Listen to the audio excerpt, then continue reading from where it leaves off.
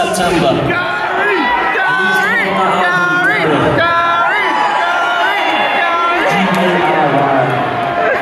Why? I don't know. This song should give you a bit of an explanation. This next song is called...